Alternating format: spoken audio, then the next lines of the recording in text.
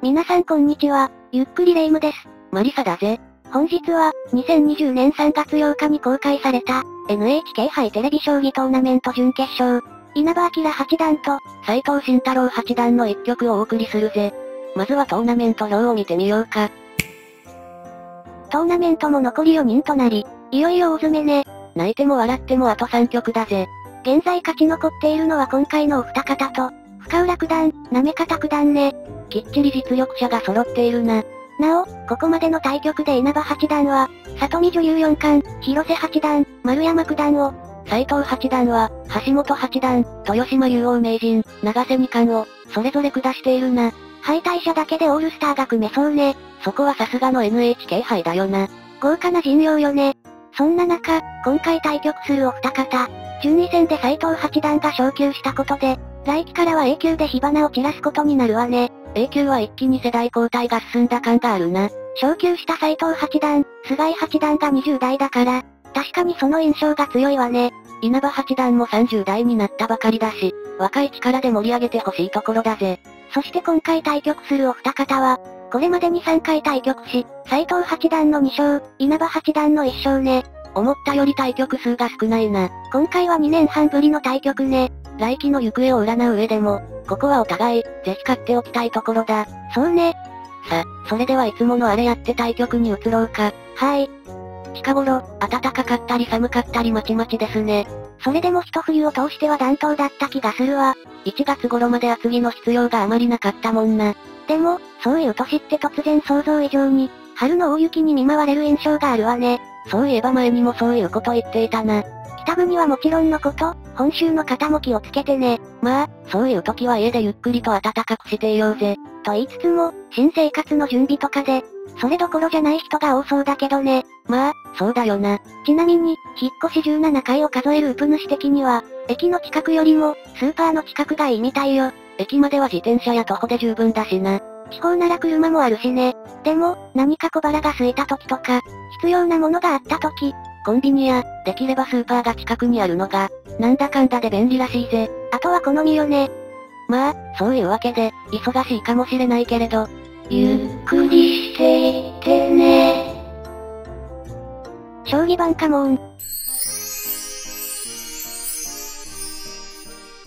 今回はレイムが先手、稲葉八段。マリサが後手、斎藤八段だぜ。それでは、よろしくお願いします。2六歩、8四歩、お互いに飛車先をついていったね。2五歩、近年の流れだと、相掛かりかな。8五歩、まあ、そう思うよな。なんか思わせぶりね。7八金、間違ったことは言っていないぜ。3二金、まあ、確かにそうだけど。3八銀。ちょっと気になるわね。7二銀、6八玉、3四歩、一歩手元に置くよ。2四歩、ここまでは本当に何もないけれど、同歩、超飛車、退路として角道は開けてあるから。8六歩、こちらも一歩もらうぜ。同歩、同飛車、こちらも角道を開けてで型を見るよ。7六歩、早速ここから、道の世界へご案内だぜ。同飛車、あれ、桂馬の逃げ道なくなるけどいいの ?8 二歩、ああ、構わないぜ。この場合、後手の主張は、8六飛車。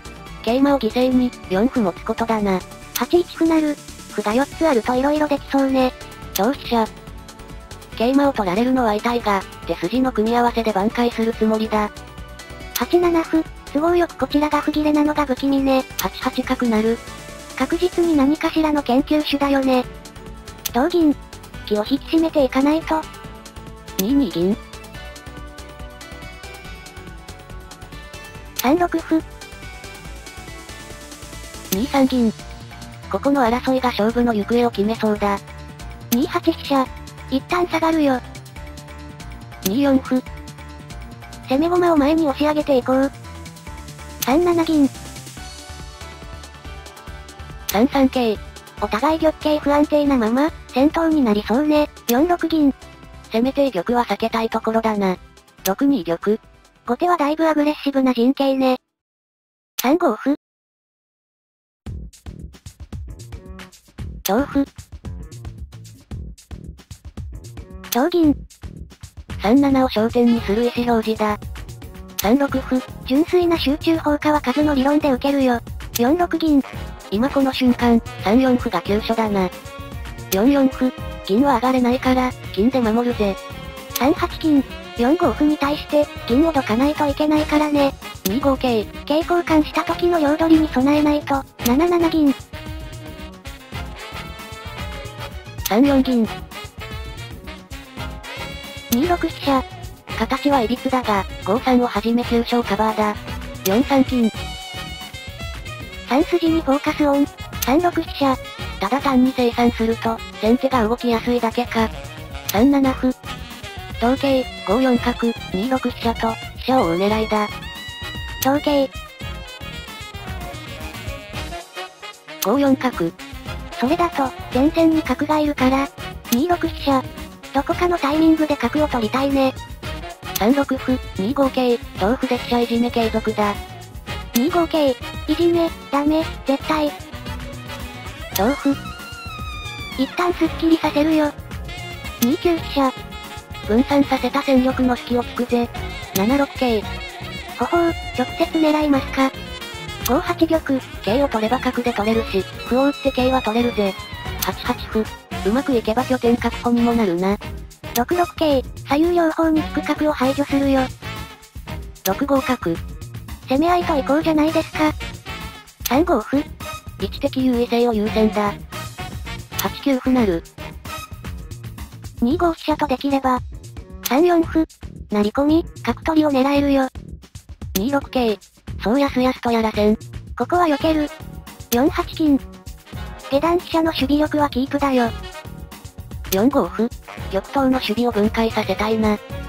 長銀、3筋の守りが手薄になるのが嫌だな。8八と金、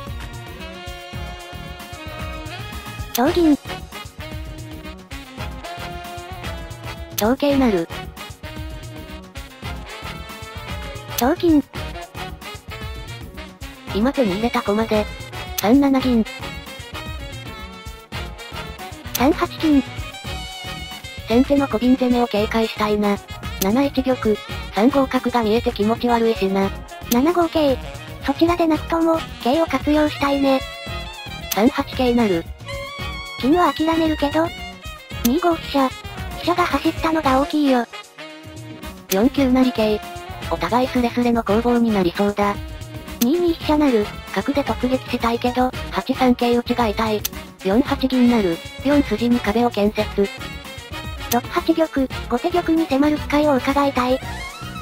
6四金、急所をカバーしつつ、桂馬に当てる。5六銀。角を取った手がそのまま7四を狙えるね。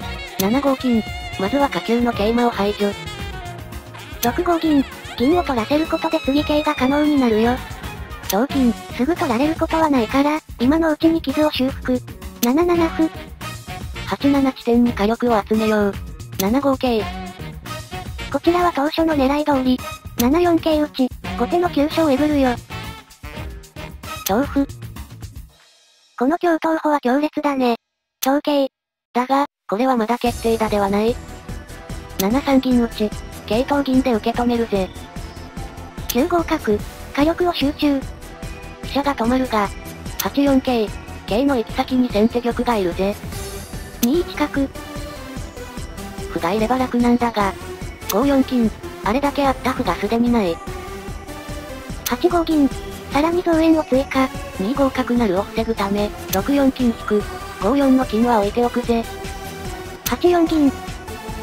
7二の銀も竜を防いでいるから、7四金、この金で対応しなきゃならない。8三桂。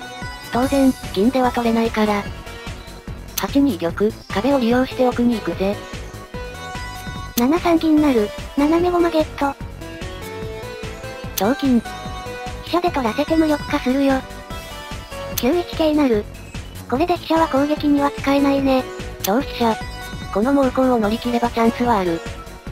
86強。豪華な合駒だが、8三銀打ち。歩を引っ張られないよう、相手の打ちたいところに打つ。6六銀。ここに桂馬を打たれるのは困るもんね。6七桂なる。非常手段で歩を補充。密室は出せた。超玉。ただ、駒が近くてまだ怖いかな。8四歩、角を補足したぜ。後手の桂打ちを防ぎ、7五桂、自分の攻めにも繋がる味のいい手だね。ひぎ、6二桂、壁になり、さらに5四角なるは同桂で玉頭に当たるぜ。すごい手を繰り出してきたね。8三桂なる。壁ができたから安心して。同銀。7五銀打ち。防壁追加。7二桂。随分熱くなったじゃない？でもここは、6四歩。歩を引きずり出すよ。させるか。超金。空いたスペースに歩を打つつもりだろう。超銀。8四を狙う銀がどいたから。超歩。歩で取れるようになったぜ。6三歩。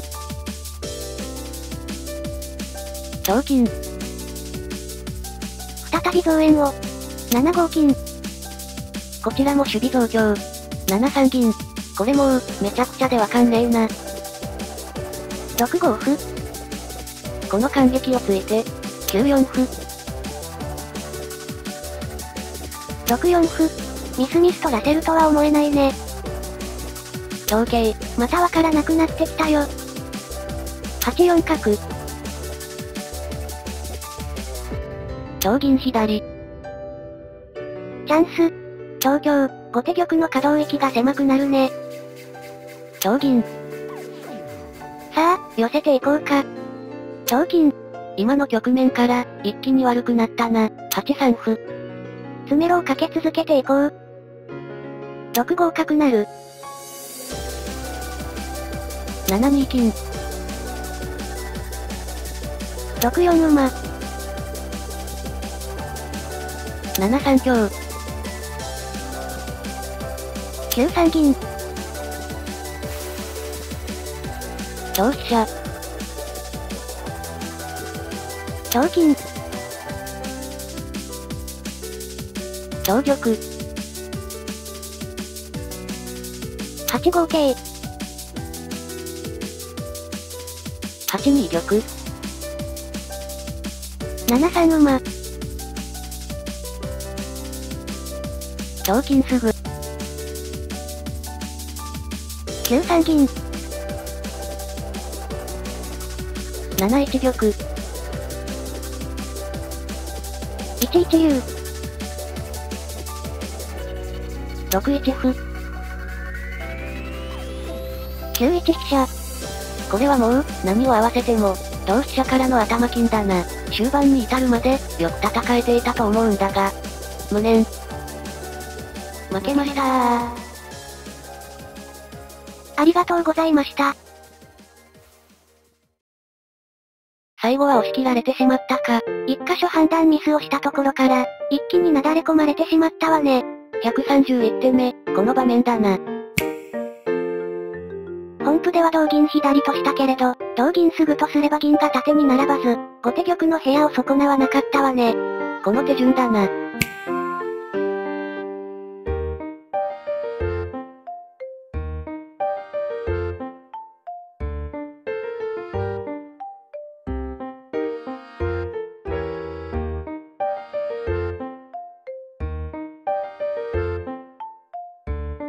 な敗着としてはここが挙げられるが、全体的に稲葉八段が押しつつも、一進一退を繰り返す緊迫した展開だったわね。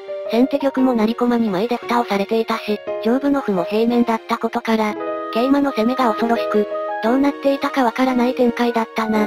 しかし、桂馬の逃げ道をつかず、横歩を取る展開には驚かされたわ。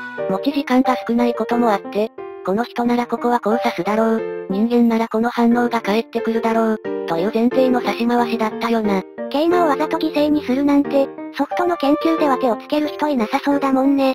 もし仮にこういう手が通用するなら、ソフトも人も刺さない手をあえて踏み込む、という手が流行るかもしれないな。ただし、持ち時間の短い棋戦に限られそうだけどね。深く読むと冷静に対応されてしまうからな。短い持ち時間は力戦、長い持ち時間は定石、という時代が来るかもね。まあ、先のことはわからないんだけどな。さ、それじゃあそろそろお開きにしようか。おうよ。ご視聴、ありがとうございました。よろしければ高評価、チャンネル登録お願いします。それではまた次回も、ゆっくり